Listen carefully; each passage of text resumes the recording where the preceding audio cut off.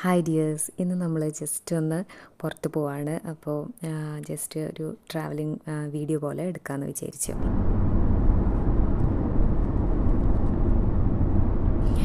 നമ്മൾ നക്കലിലേക്കാണ് പോകുന്നത്. അപ്പോൾ ഇവിടുന്ന് ഡാർസൈറ്റിൽ നിന്ന് നക്കൽ വരെ ഏകദേശം one hour one and half hour drive ഉണ്ട്. നമ്മൾ പോകുന്ന വഴിക്ക് ലുലുവിൽ കയറിയിട്ട് കുറച്ച് ഫുഡ് ഐറ്റംസൊക്കെ മേടിച്ചിട്ട് സ്നാക്സും അതുപോലെ അവിടെ പോയിട്ട് കഴിക്കാനുള്ള ലഞ്ചും ഒക്കെ നമ്മൾ ലുലുവിൽ തന്നെയാണ് മേടിച്ചത്. അപ്പോൾ അവിടെ ചെന്നിട്ട് ലഞ്ച് കഴിക്കാമെന്നാണ് വിചാരിക്കുന്നത്. ഇപ്പോൾ ഇവിടുന്ന് ഒരു ട്വൽവ് ഓ ക്ലോക്ക് ഒക്കെ ആയപ്പോഴാണ് വീട്ടിൽ നിന്ന് ഇറങ്ങിയിട്ടുള്ളത്.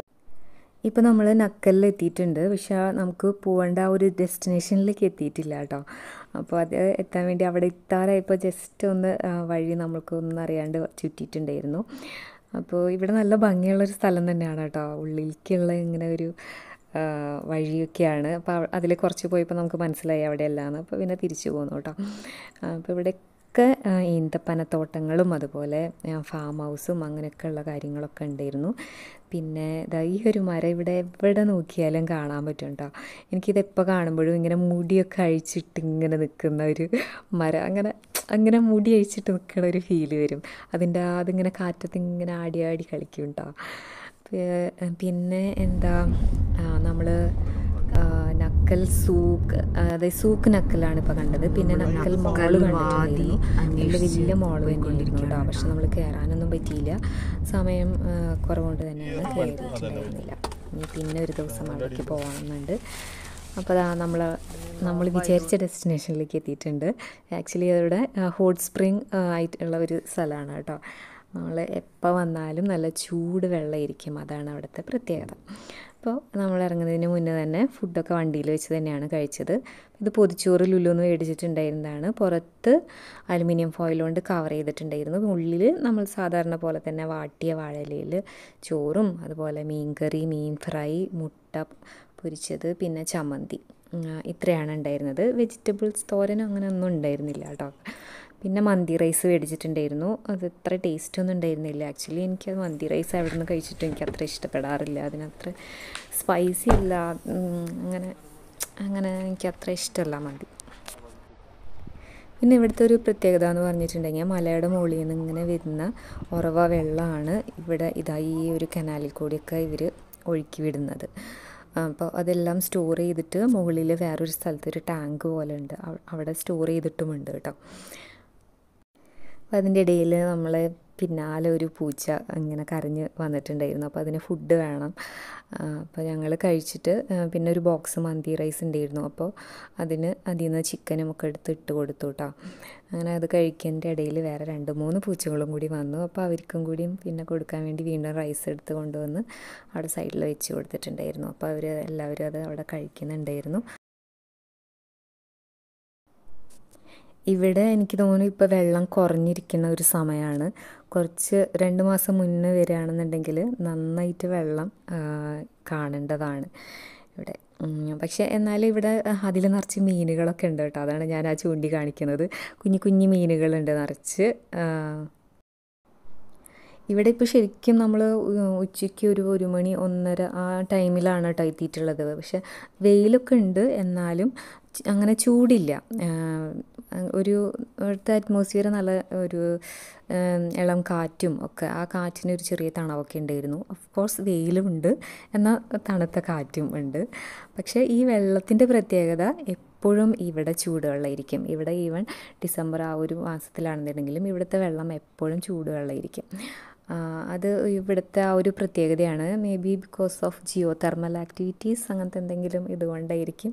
ഇവിടെ അതുകൊണ്ട് തന്നെയാണ് ഇവിടെ ഹോട്ട് സ്പ്രിംഗ് എന്ന് പറഞ്ഞിട്ട് ഒരു വിനോദ സഞ്ചാര കേന്ദ്രം എന്ന് പറയാം. ഒരു ടൂറിസ്റ്റ് പ്ലേസ് ആണിത്. ഇതാ ഇവിടെ കണ്ടോ? ഇങ്ങനെ എവിടെ കുറേ സ്ഥലങ്ങളിൽ കാണാം കേട്ടോ. ഒരു പാറക്കെട്ട് പോയിന്റ് പോലെ ഇങ്ങനെ ഗേറ്റൊക്കെ വെച്ച് അടച്ച് വെച്ചിട്ടുണ്ടാവും. അതിന്റെ ഉള്ളിൽ നിന്ന് ഇങ്ങനെ പൈപ്പ് വന്നിട്ട് വെള്ളം ഇങ്ങനെ താഴേക്ക് വരുന്നുണ്ടാവും. ഇങ്ങനെ കുറേ സ്ഥലത്ത് ഇതാ അങ്ങനെ ചെയ്ത് വെച്ചിട്ടുണ്ട് ഇവിടെ. ഇത് ഒരു ഗ്രില്ലൊക്കെ വെച്ച് ഗേറ്റൊക്കെ വെച്ച് ലോക്ക് ചെയ്തിട്ടിട്ടുണ്ട്. അതിൽ നിന്ന് ഇങ്ങനെ അതാ ഒരു പൈപ്പ് നിങ്ങൾക്ക് നീണ്ടു നിൽക്കുന്നത് കാണാം. അതിന്റെ അടിയിൽ നോക്കിക്കഴിഞ്ഞാൽ അതിൽ കൂടെയാണ് ഈ വെള്ളം ഇങ്ങനെ ഒഴുകി വരുന്നത്. അത് നിറയെ ഉണ്ട് കേട്ടോ അങ്ങനെ ഇങ്ങനെ ഒരു ഒന്ന് രണ്ട് സ്ഥലത്തൊന്നുമല്ല കുറേ സ്ഥലത്ത് അങ്ങനെ പൈപ്പ് വെച്ചിട്ട് അതിൽ നിന്നൊക്കെ വെള്ളം ഇങ്ങനെ ഇറങ്ങി വരുന്നുണ്ട്. അപ്പോൾ ഈ വെള്ളത്തിന് അത്യാവശ്യം ഒരു നല്ല സുഖമുള്ളൊരു ചൂട്. അതാണ് എനിക്ക് അങ്ങനെ തൊടുമ്പോൾ ഫീൽ ചെയ്യണത് കേട്ടോ. ഏയ് നല്ല ചൂട് വെള്ളമല്ല കേട്ടോ നോർമൽ വാട്ടറാ ചെറിയൊരു ചൂടുണ്ട്. അത്രേ ഉള്ളൂ.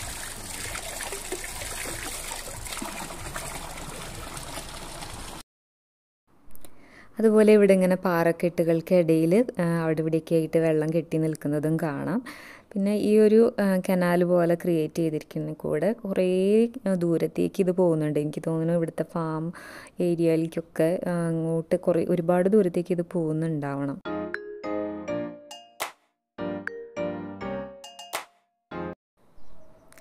പിന്നെ ഇവിടെ ഇതുപോലെ കുറേ മരങ്ങളും കാര്യങ്ങളൊക്കെ ഉണ്ടായിരുന്നു. അതിൽ എന്താണ് ഈ ഒരു കായ എന്നറിയാൻ വേണ്ടിയിട്ട് ഞാൻ ജസ്റ്റ് പൊട്ടിച്ച് അവിടെ തന്നെയുള്ള വെള്ളത്തിൽ കഴുകിയിട്ട് ജസ്റ്റ് ഒന്ന് കടിച്ച് നോക്കി ടേസ്റ്റ് അറിയാൻ വേണ്ടിയിട്ട്. പ്രത്യേകിച്ച് ടേസ്റ്റ് ഒന്നും ഇല്ല. മീൻസ് അത്ര നല്ല രസമുള്ള ടേസ്റ്റ് ഒന്നും അല്ലായിരുന്നത്. അപ്പോൾ അത് കാരണം കൊണ്ട് ഞാനത് അവിടെ തന്നെ കളഞ്ഞിട്ട് വന്നു. അതിന്റെ കുറേ പച്ചക്കായകളും അങ്ങനെ ഒക്കെ ഉണ്ട് കേട്ടോ അവിടെ. കാണാൻ നല്ല രസമുണ്ട്. പക്ഷേ കഴിക്കാൻ പറ്റുന്നതല്ല എന്നാണ് എനിക്ക് തോന്നുന്നത്.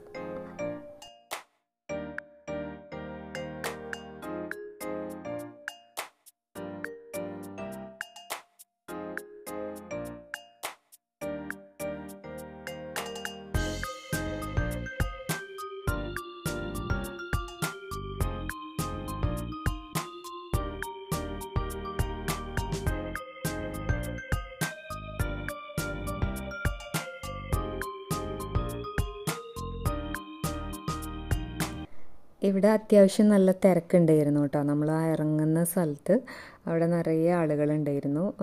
എനിക്ക് തോന്നുന്നു ഒമാനീസും പിന്നെ ദുബായിൽ നിന്ന് വന്നിട്ടുള്ള ടൂറിസ്റ്റും അങ്ങനെ എല്ലാ കുറേ പേരുണ്ടായിരുന്നു.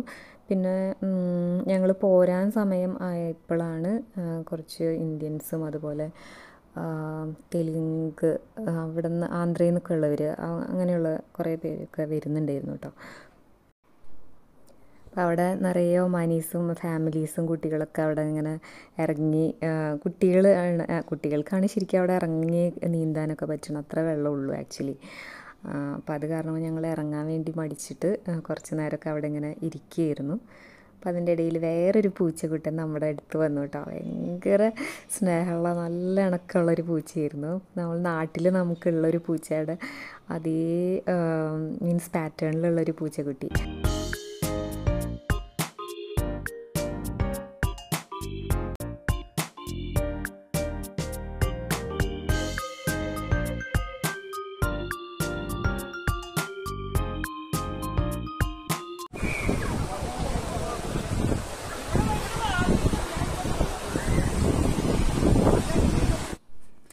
ഇവിടുത്തെ ഈ സ്റ്റെപ്പ് ഇങ്ങനെ കെട്ടി കല്ലുകൊണ്ടൊക്കെ കരിങ്കല്ല് വെച്ചിട്ടൊക്കെ കെട്ടി ഉണ്ടാക്കിയതാണെന്ന് തോന്നുന്നു കേട്ടോ. നല്ലൊരു രസമുണ്ടായിരുന്നു അത് സ്റ്റെപ്പ് ഇറങ്ങുമ്പോഴൊക്കെ. നല്ല നീളത്തിൽ വീതിയിൽ അങ്ങനെ കുറേ സ്റ്റെപ്പ് ഉണ്ടാക്കിയിട്ടിട്ടുണ്ട് അവർ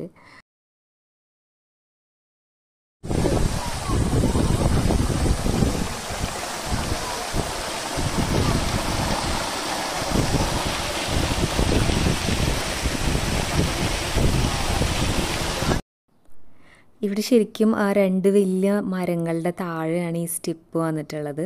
അവിടെയാണ് എല്ലാവരും ഇറങ്ങുന്നതും ഒക്കെ കേട്ടോ. അപ്പോൾ തന്നെ നല്ലൊരു തണലുണ്ട് ആ ഏരിയയിൽ ഫുള്ളായിട്ട്. പിന്നെ ഞാൻ പറഞ്ഞില്ലേ നല്ല തണുത്ത കാറ്റും ഉണ്ടായിരുന്നു. അത് കാരണം നമുക്കവിടെ കുറേ ടൈം സ്പെൻഡ് ചെയ്യാനായിട്ട് തോന്നും. ശരിക്കും അവിടെ നിന്ന് പോരാനായിട്ട് തോന്നുന്നുണ്ടായിരുന്നില്ല കേട്ടോ. കുറേ ഫാമിലീസും ഫ്രണ്ട്സൊക്കെ ആയിട്ട് വന്ന് ഒരു ഒരു ഫുൾ ഡേ ഫുഡൊക്കെ കൊണ്ടുവന്നാൽ സ്പെൻഡ് ചെയ്യാൻ പറ്റുന്ന ഒരു സ്ഥലം തന്നെയാണിത്. പിന്നെ അതിന്റെ ഇടയിൽ ഇവിടെ അടുത്ത് തന്നെ ഞങ്ങൾ കുറേ ആട്ടുംകൂട്ടത്തിനെയൊക്കെ കണ്ടിട്ടുണ്ടായിരുന്നു കേട്ടോ. അതൊക്കെ വീഡിയോ എടുക്കാനായിട്ട് പറ്റിയില്ല. അപ്പോൾ ഇത്രയേ ഉള്ളൂ ഇന്നത്തെ വ്ളോഗ് ടാറ്റാ.